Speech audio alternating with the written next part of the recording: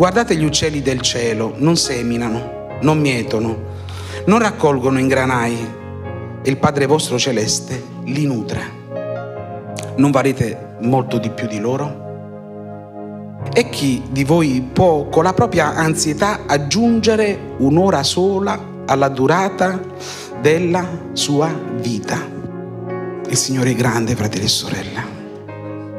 Egli sfama tutti gli uccellini del cielo. Li conosce tutti. Li ha creati Lui. Ma ha creato tutti quanti noi.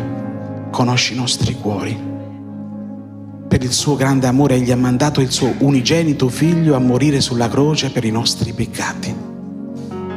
Dove inizia l'ansia finisce la fede, dove inizia la fede finisce l'ansia. L'ansia è la nemica della fede. Sapete perché?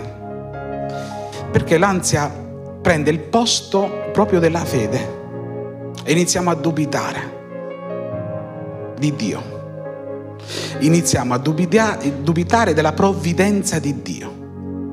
Iniziamo a dubitare dell'aiuto di Dio.